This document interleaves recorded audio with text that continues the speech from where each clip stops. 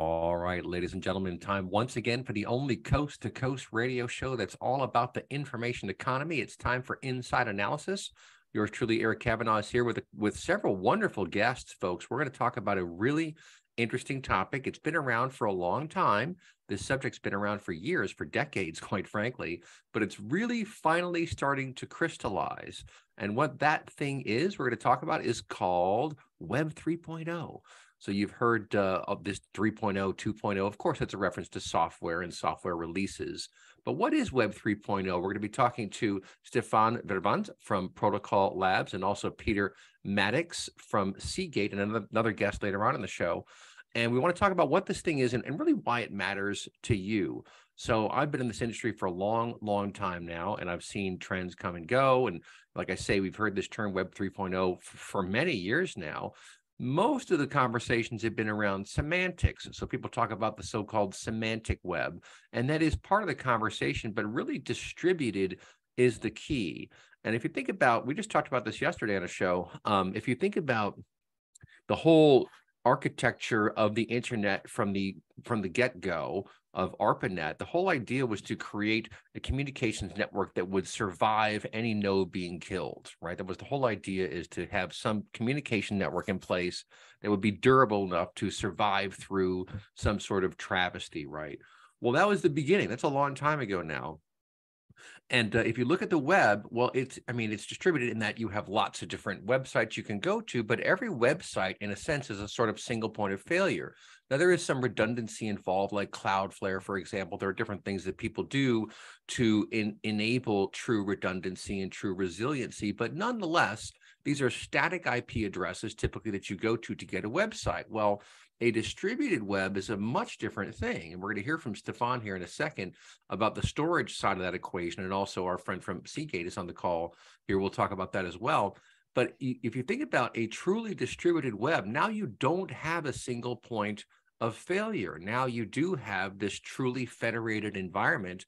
And we're not talking just storage. So the, the first step of this process is storage, but we're also going to talk about compute. We're also going to talk about the full stack for delivering apps or DApps, as some people call these things, distributed apps.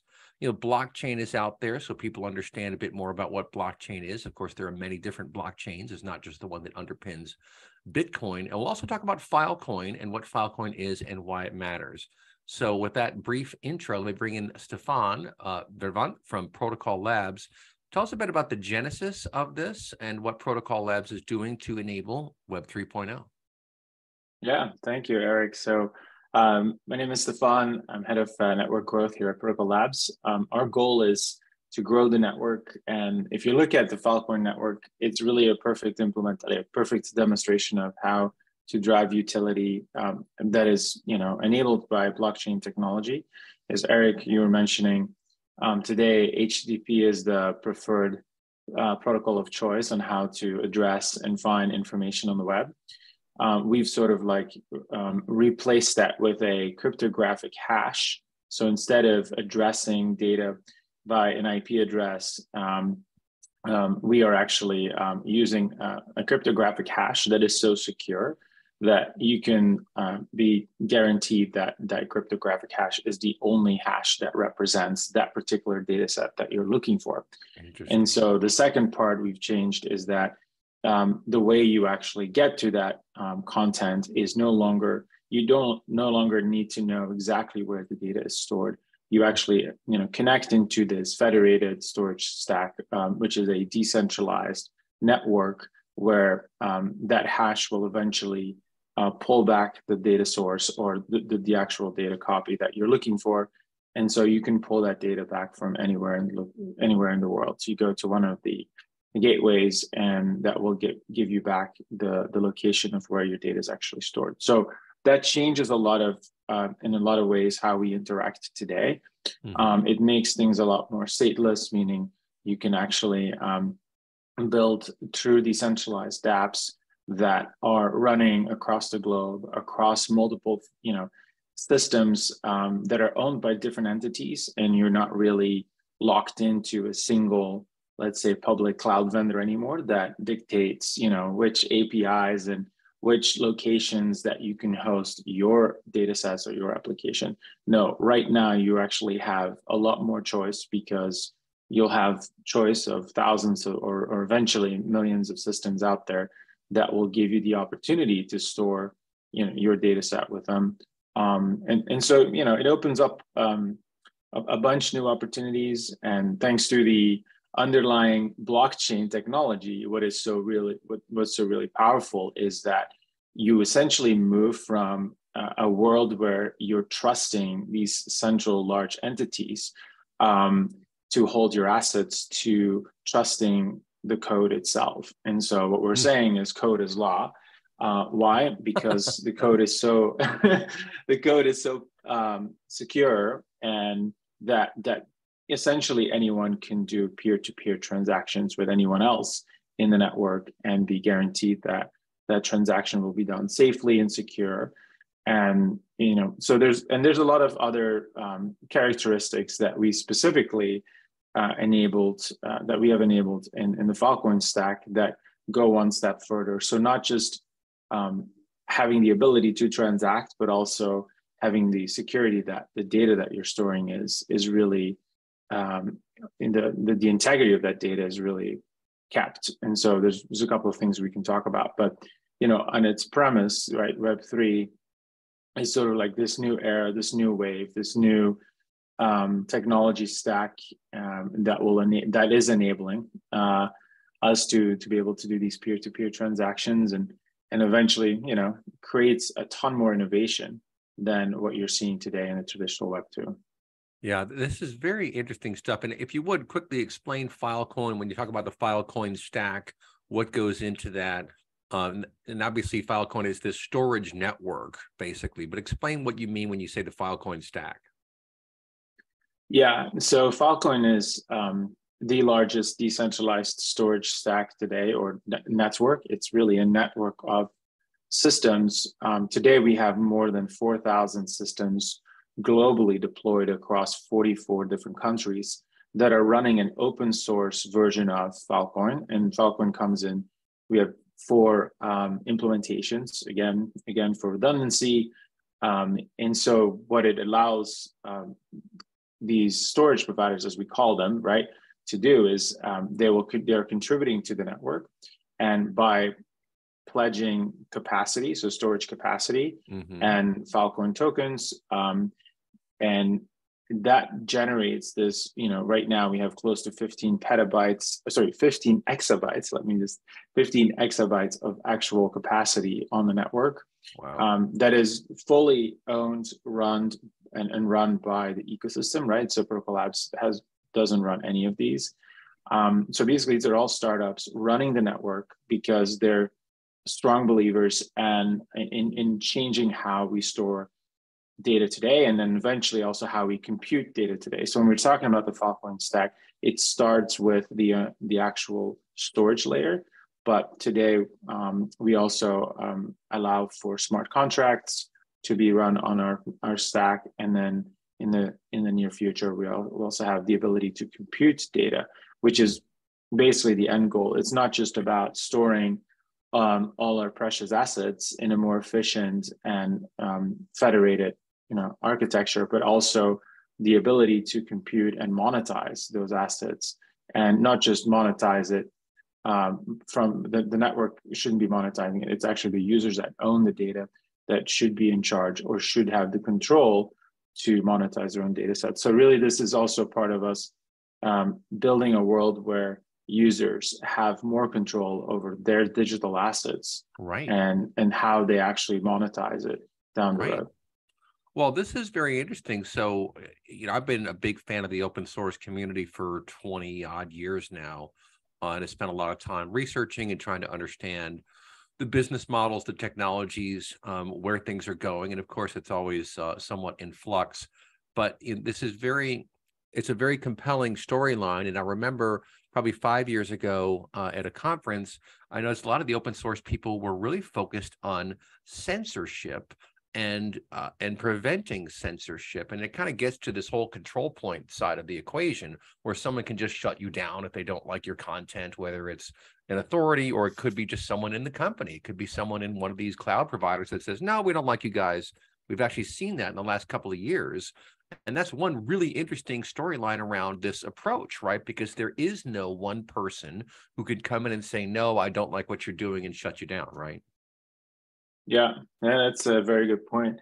Look at what's happening on the with Twitter, for example, right? It's a perfect example. Of, right. Um, right. It's actually going to result into more uh, similar platforms that are more customized to the audience. Um, and so here in, in, in a decentralized network, you have that flexibility, you have that option because there's no single entity, like you said, that controls what um, what data is stored where. Um, it's actually up to the users and to the storage providers to offer those kind of services and to get into an agreement on what data to store and what data not to store and where to store it.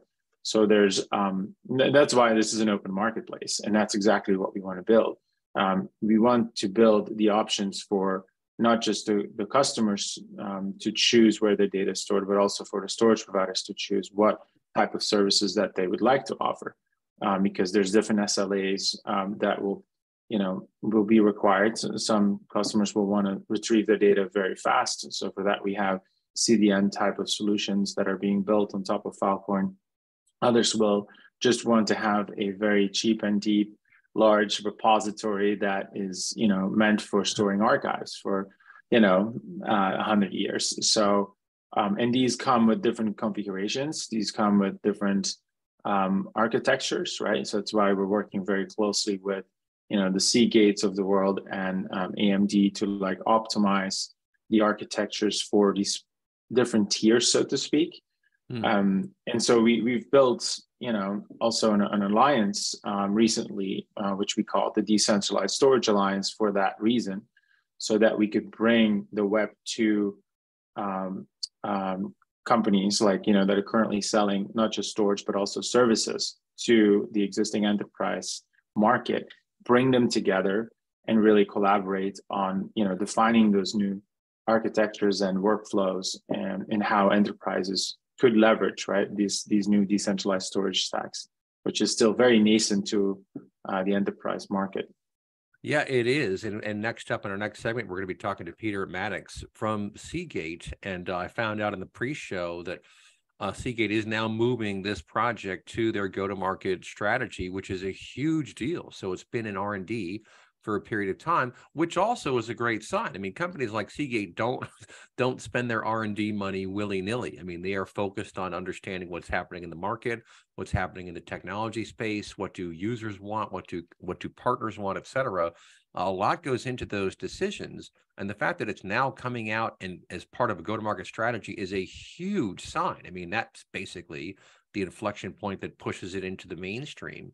Uh, and it's very, very interesting to me. So just to explain our audience here, the idea is instead of going to Amazon or Google or Microsoft or Rackspace or any of these providers to store your data, instead of just buying servers yourself, which is the old fashioned way of storing data, instead of doing that, you will rely on this decentralized storage network to to host your data. And to Stefaan's point the next step in this process for them for their uh, own advancement is the compute side of the equation. So now you're talking about actually being able to store data to build distributed apps and then to you know point those apps at the storage network just like you would point your containers at persistent storage in traditional enterprise computing environments right Stefaan? Yeah, indeed. So, perfect example um, are NFTs. Um, so, one of the benefits, one of the major benefits of storing data in a decentralized network where there's no central or no single entity that fully controls the network is that all data that is stored is immutable and it's verifiable, meaning there's no way that you can change it.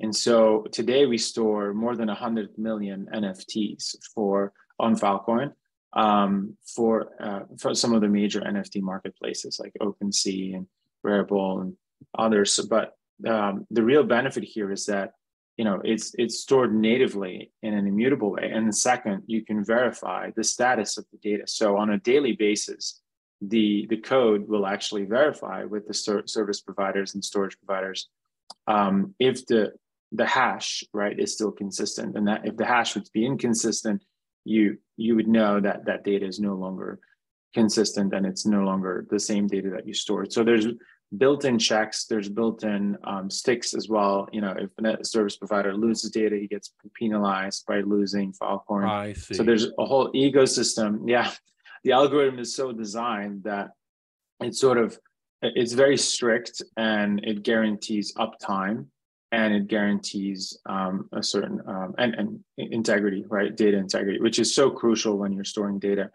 Um, and so you can build these dapps on that like i was mentioning the nfts right as a perfect example um, you know today we store hundreds hundreds of millions of, of nfts on filecoin but now with the introduction of the virtual machine, which is the ability to compute um, uh, state of data, basically, so you can build intelligence um, and store that on the on the stack, so you can then eventually mint your NFTs as well on Filecoin. And then the second step beyond that is now that you have stored your data on Filecoin, you can run analytics um, in a distributed way as well. So there's multiple startups um, and we ourselves are building capabilities as well to enable compute on top of data that's stored on Filecoin. Yeah. And so here, yeah, sorry. Just real quick, uh, one minute before the break. Is there a standard or default number of copies? Like with Hadoop, it was three out of the box. Is there a standard number of copies that you store, or can you choose that? Uh, you can choose that. Um, but by default, right now we're seeing five to six copies by the on ramps okay. that are storing data in Filecoin. I see. Okay, good.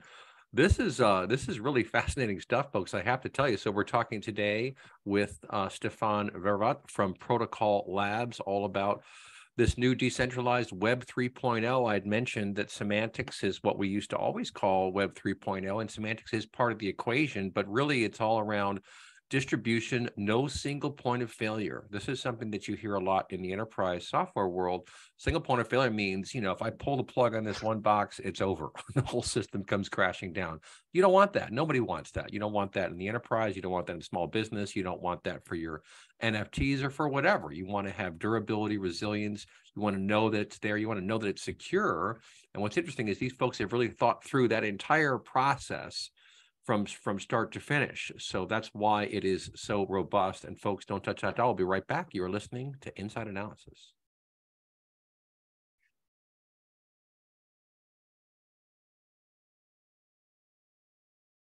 All right, folks, back here on Inside Analysis, talking all about Web 3.0, the distributed web, the semantic web. What does it all mean?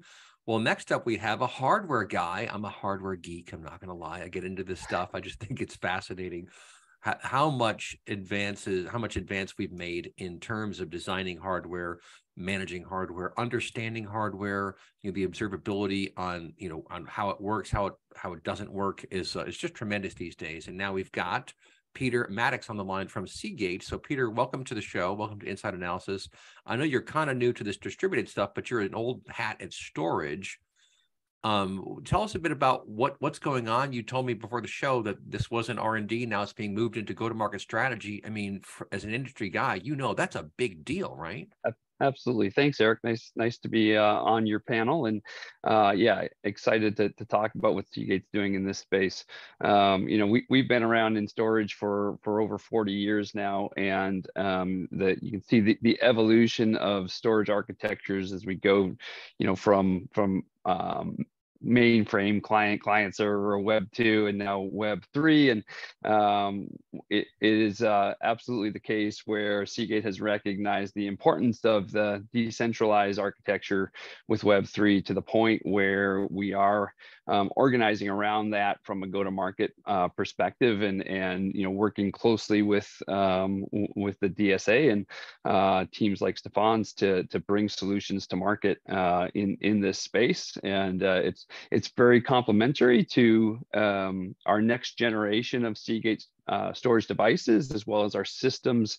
Um, I'd say kind of the, the overarching theme is to to try, try to bring the um, the benefits of the hyperscale um, cost per terabyte uh, type of metrics uh, into this uh, decentralized architecture um, so that um, smaller industry players can benefit from those same kind of, of cost improvements architecturally that, that we've traditionally placed in the, um, you know, in the hyperscale uh, cloud providers and looking to provide that uh, to the decentralized market as well. Yeah, and of course, a lot has changed, right? I mean, we traditional data centers. I, I personally believe that the uh, the rumors of traditional data centers have been exaggerated.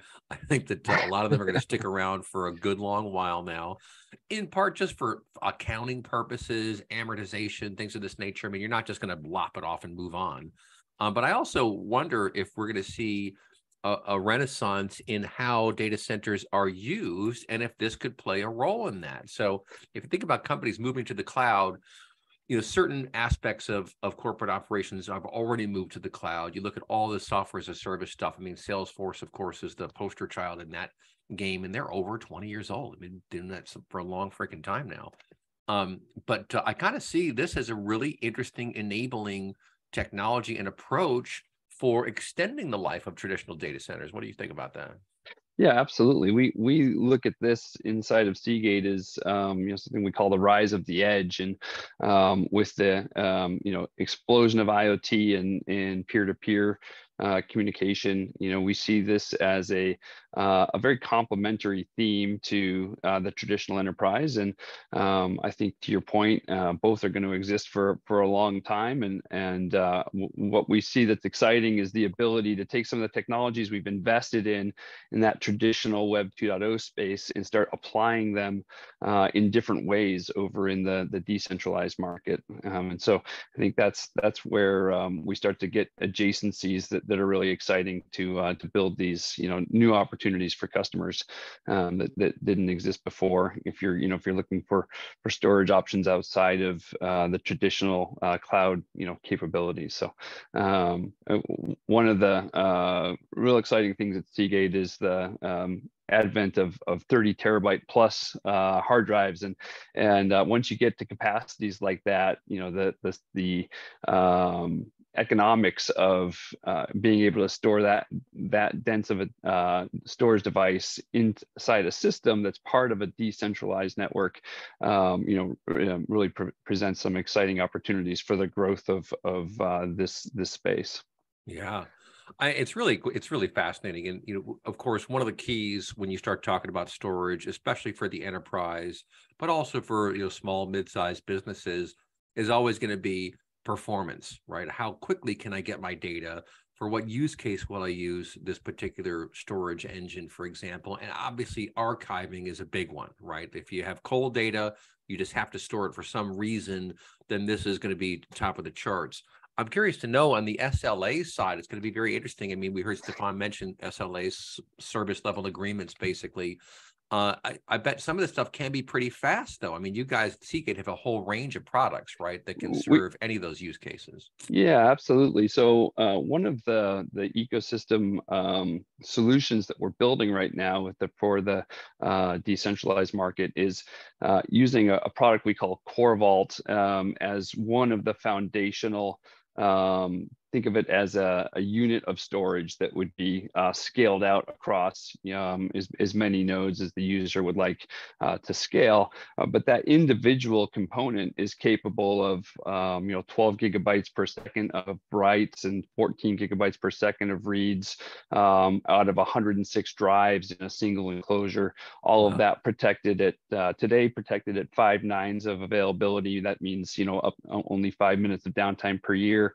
Um, next next generation will be six nines uh, later this year. So um, really excited about you know that is just a if you think of that as a single uh, you know a single point of failure single component of that scale out architecture and then you know how resilient that looks when you when you go to n nodes um, it's it's very exciting and yeah our, one, one of our uh, key investments there has been in a um, um, an ASIC com, uh, combined with our data path firmware, uh, which is designed um, to really get the, the maximum throughput and availability at the, a very low cost. So compared to other architectures, um, you know, it's a it's a very cost effective approach to to the uh, space.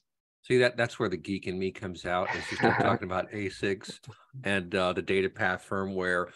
So in ASIC, the first time I learned about ASICs was with uh, Bitcoin, uh-huh. and uh, there were Chinese companies building these machines that were purpose designed to mine for for Bitcoin right which is a very it's a it's a fascinating concept that i think a lot of people really don't understand including myself but you know being unwinding the cryptography to get to the coin requires a tremendous amount of computational power and so right. what they've done is they purpose built these asics to do just that and and only that. And it sounds like you guys have some other things going on with this uh asic combined with a data path firmware. That's great again for particular use cases when you want to move vast amounts of data from one place to another right? Exactly exactly yeah and this this uh, particular design is all around um, you know keeping our uh, active active architecture with with dual controllers in a single node, um, shared cache, where um, really maximizing that availability and and uh, it's it's you know how we are able to achieve that five nines and now now moving to six nines with our next level of devices. So um, yeah, and, and to your point earlier, I think we were talking about how long these investments take. Um, you know th that uh, product set is uh, something that's matured over many years, and uh, you know in the in the traditional enterprise space and now you know being able to apply um, this as a part of a, an ecosystem and architecture to decentralized storage is is really exciting. Yeah and you mentioned edge and let's just explain to the audience what edge means. A lot of people now know but you, of course you have these data centers you have cloud providers like amazon and all these other guys but then the edge refers to really anything that's out there that has some connectivity. It could be your phone, for example, is on the edge. It could be some technology on an oil rig, for example, is out at the edge. It's anywhere out where something is happening. And you, know, you, you look at like Amazon, they have these big availability zones, but they're pretty big. And so the speed of light actually comes into play in terms of sending messages all the way across and getting messages all the way back. And what I think is very interesting is going to play right into your hands in this particular endeavor is that the the edge is everywhere the edge is all over the place. It's all over the place. And the more that we can cater to those needs, those business needs, the more that space is going to grow. And I think you guys are like right in the center of that conversation, right? Yeah, absolutely. It's um, it's it's been really interesting to see. You know, Seagate as a devices company um, is obviously uh, in the cloud, but but we're also uh, you know at the edge, and um, you know being able to to take advantage of of being um, you know throughout that ecosystem, uh, particularly for our systems business, has been a, a, a really good place to be, and and where we're seeing an awful lot of growth. You know, coming into this this next year um, is out of exactly those those kinds of deployments and you know, as, as users want to um, approach security in different ways, I think we talked earlier about, um, you know, wanting to control where their data is. And, um, you know, um, you see diff different security um, protocols out there and and the need for for businesses to be able to control where uh, from a geographic perspective you know where their data lives um, so we we see this decentralized approach as a um, a good alternative to um, kind of the traditional hyperscale uh, ways of, of controlling where your data uh, resides and um, you know i think think the um, approach we've got with systems being part of that architecture um, is a is a good part of the solution. Yeah, that's very interesting. And um, you know, I've heard some funny stories. Uh, I won't mention the cloud vendor's name, but a very, very big cloud vendor. I've heard stories about uh, them not knowing where stuff is and like really important stuff, and because it's just complicated. I mean, they've just built out racks and racks and racks and racks of servers, and you know, there's documentation for all that stuff. But you know, kind of knowing where things go is uh, is a challenge. And you guys have an interesting I, I think, uh, advantage here in being able to architect this next generation solution. Could you talk quickly about like what kind of things can you do from a hardware design perspective? You mentioned this firmware concept, but from a hardware design perspective, what kind of things can you do to facilitate um, how you interact with this uh, distributed soft storage alliance? Sure. So um, we we build um, reference architectures, uh, working with the the DSA, um, the, the, the Decentralized Storage Alliance, um, to optimize, um, you know, the the performance characteristics specifically for Filecoin, um, and you know, building out um, a solution with our right now the, the work that's going on is is with our uh, CORVAULT architecture.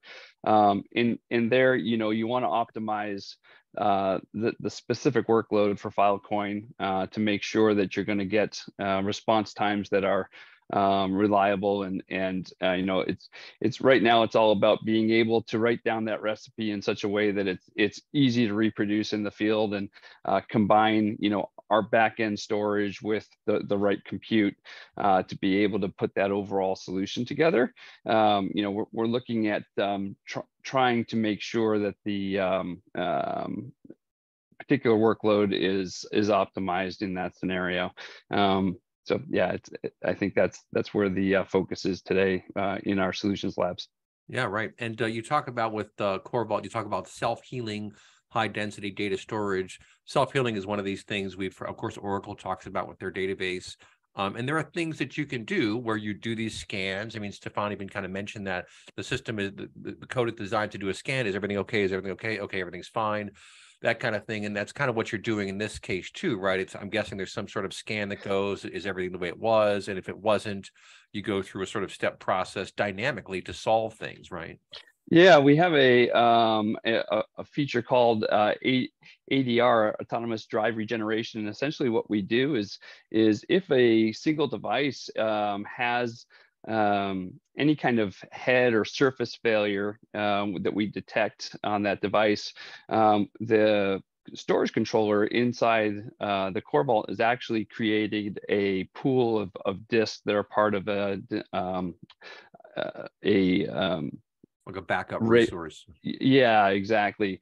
Um, a pool of disks where we can uh, keep a spare capacity uh, capability where we can autonomously regenerate uh, the space on that drive by taking a single head out of service, um, huh. move that capacity over to the rest of the pool, then bring the rest of those services uh, surfaces back online. Um, so you might see the original device come back at maybe 95% of its original capacity, huh. um, and then your uh, your pool of storage is automatically rebalanced over that device. All of this is transparent to the the end application, so um, you don't see any interruption in service or change in performance while that's happening. Um, and that's so crazy. at the at the end of the day, you see um, you know a small percentage of capacity in your original pool is gone, uh, but you're you know completely self healing. No need to pull that uh, drive out of the system and you know replace it. Um, it continues as part of the uh, the rest of the pool. So yeah, it's really really an exciting capability for us. Uh, and as you think think about a single device with 30 terabytes on it or more, um, you really need to have those kinds of algorithms in place so that you're not dealing with expensive rebuilds across right. you know your entire infrastructure when when a, uh, a device is replaced. So uh, yeah. it's becoming a, a really important part of the architecture. That is very, very cool stuff. It just goes to show you how you can build upon the successes of the past and kind of learn from mistakes and, and learn how you can leverage these technologies. But that kind of self-healing capacity is huge because man, when stuff goes down, when you lose data, I mean, the business pain of that is just miserable. But folks, don't touch that dial. We'll be right back. You are listening to Inside Analysis.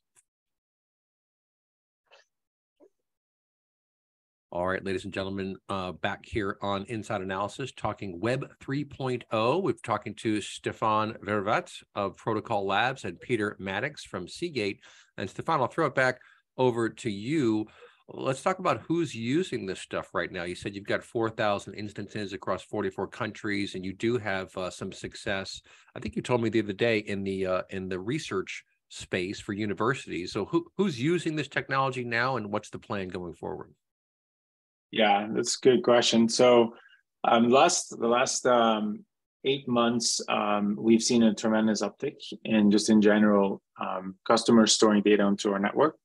And we've seen research institutes being very um, um, engaged there uh, for a couple of reasons. One, typically in research environments, you have a ton of data that you're uh, trying to capture because you're doing research, you're doing analytics, you're doing, yeah, and so every bit that you capture is important. And so uh, you want to be able to preserve that over time so that as your you know your compute becomes um, more efficient and your algorithms become better um, you can actually run those algorithms again over uh, even old data sets and train those algorithms to maybe even a better outcome. So um, in research, we've seen uh, customers like um, UC Berkeley storing um, uh, data uh, that is related to dark matter. So research uh, researchers that are you know uh, actually um, researching dark matter, and and their feedback has been like, look, for us, what's important is that every single bit we capture is crucial and important, and so we want to be we want to be sure that the data is is is still you know the integrity of data is still preserved Mm-hmm. And so that's exactly what our solution does. Plus, um, their budgets are also slashed in a lot of cases, or you know they would like to spend as much of their budget towards the compute side, so they can right. you know spend more time on finding insights or finding discoveries. And so the storage aspect sometimes you know is sort of left behind, and that's where we come in. And so we're seeing University of Utah, UC Berkeley. Um, we have some. Uh, we have Atlas.CERN which is the large um, um, wow. CERN. Um, yeah, they're they're storing um, archives on on um, on Filecoin as well, and so you know these are just on the Web two side. We have also public data sets uh, like NYC, this New York City is storing some of their public data sets on Filecoin and others, and then we have uh, on the Web three side we have a ton of um, startups that are being built right now. We have more than 500 startups being built on wow. top of Filecoin that are in some level of uh, investment or uh, funding stage. Um, and so we at Protocol Labs, we and Filecoin Foundation, we invest a ton of resources in helping entrepreneurs build new uh, billion dollar businesses, as we say here at PL, right, on top of Filecoin. And we have anything that that you can imagine of like you know we have an alternative for spotify for youtube for um, you know pretty much any app that you know of today. I mean there's even apps that are replacing uber. So it is being built right now. And so we are investing heavily in enabling that pipeline of startups right on, that are built that are built on top of filecoin. And at the same time we're also reaching out to the web 2 community to like you know bridge and sort of like help them bring those large archives those large data sets um, onto the filecoin network. And then you know we have nft marketplaces and um, that are very specific uh, you know around the nft ecosystem but um, yeah a ton of use cases are um, coming up. And then what, where do we go next right? It's a good question. So a lot of our roadmap as we discussed in the previous section is focused on enabling uh, users to actually compute the data. Um, and the second part is also um, enabling what we would call like uh, you know the smart contract capability, which allows for uh, data DAOs, uh, which are these uh, autonomous organizations that uh, organize and operate and govern a set of data assets, right? So now you can sort of like pool your funds together um, as as a community. So basically, let's say you want to rally the community around a certain data set that you want to be that you want to preserve then you know the community could rally around that. They could fund that and that could become its own dao data dao. Um, and so there's a lot more newer structures that can be built on a decentralized net that you cannot build on web 2 so we're very excited about that because that's opening up a ton more opportunities uh, where the community can actually fund um, you know a, an initiative that they're that they're behind. Yeah that's interesting and you said you provide grants too like 5k up to $100000 grants for people to I, i'm presuming here to build dapps on top of filecoin is that right? Yeah that's right yeah so go to the um, uh, filecoin website look for grants and you'll actually see that we uh, hand out $5000 grants up to 100000 kind of depends on what stage uh, we run up to 30 hackathons a quarter. So if you want to participate and build, uh, please join us at any of the conferences. Um, typically, we'll follow the Ethereum conferences because we work very closely with that ecosystem. I see. Um, and the type of developers, I mean, there's only a certain amount of pool of developers out there. And so we travel uh, at this to the same conferences. And so, you know, even if you come to one of our conferences, you're probably going to meet the whole ecosystem anyway. So, you know, we provide we provide hackathons where we provide prizes, but also we follow up with grants for those that we feel like have a lot of potential. And then we have accelerator programs um, where you can actually file for you know specific accelerator program. For example, we have one with TechStars, we have one with Outlier Ventures, and there we also fund. We help um, these startups by uh, raising funds. You know, so we really we really help these entrepreneurs to build their business on top of our stack. Yeah, that, that's very cool. And uh, real quick, the the blockchain. Do you sit on top of Ethereum, or does it matter which blockchain? No, what's cool is that um, today, we, so uh, Filecoin is a layer zero and now also a layer one. Uh, okay. Uh, what I mean by that is that Filecoin actually now has a virtual machine that is equivalent to the Ethereum virtual machine. So we call it the Filecoin virtual machine is called FVM, but our first implementation is an Ethereum implementation, which means that you can port your Ethereum apps onto Filecoin. Uh, oh, and it's it's transparent so that um, you can now you know store you store your data and you can also run your dApps on top of um, uh, our Filecoin EVM uh, very, implementation. Cool. So yeah, yeah, that's, that's very cool. And uh, we only have a couple minutes left here. I'll bring uh, Peter back into the conversation. Um, th- this is very exciting stuff. I mean, we're talking about a whole new way of doing things where you don't have the single point of failure, and I think the cost is going to be less than what you would pay going to you know google or amazon or some of these other guys. Uh, what advice do you have uh, peter for companies looking to innovate who are trying to learn more about this? What are your thoughts on the trajectory of this whole concept yeah i think you know Stefaan's point about the community is is right on. I think there's there's so many uh, conferences to engage and um, you know i've um, as as Seagate's been part of this DSA, we see uh, more and more enterprises, um, you know, coming and be being part of the partnership. And you know, I think um, to to keep looking um, through through the ecosystem um, of partners, you're going to see solutions starting to be published. Um, you know, I know uh, in, in Seagate, you know, you'll see several uh, white papers and reference architectures coming out this year that are specifically in this this space.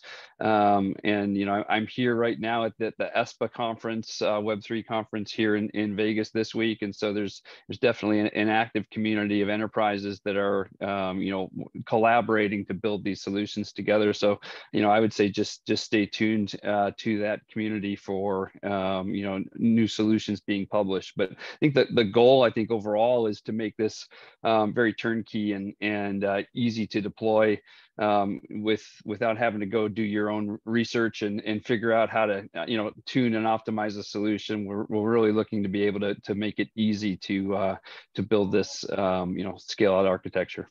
Yeah, that, that's very, very cool. We've got about a minute and 20 seconds left. Stefaan, I'll throw it back over to you. Cost, any any metrics you can throw out there about what it costs to store versus what it costs in traditional uh, storage arrays and so forth? Anything you can share? Um, yeah, I think right like right now, the storing data on Filecoin is pretty much free. Um, and it's because it's been subsidized by the, the token. Um, and so what you'll see is that multiple storage providers will provide a um, data to be stored for free for the next year and a half or sometimes longer, and then they'll start charging uh, to store that data. But it's it's you know still um, yeah it's so much less expensive just because it's been subsidized with this token, and then second.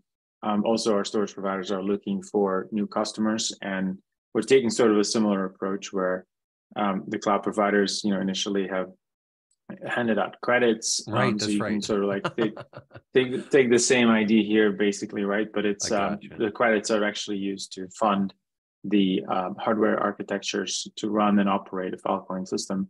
I so yeah, it. lots of opportunity. If you're trying to reduce your cost, please um, go to filecoin.io.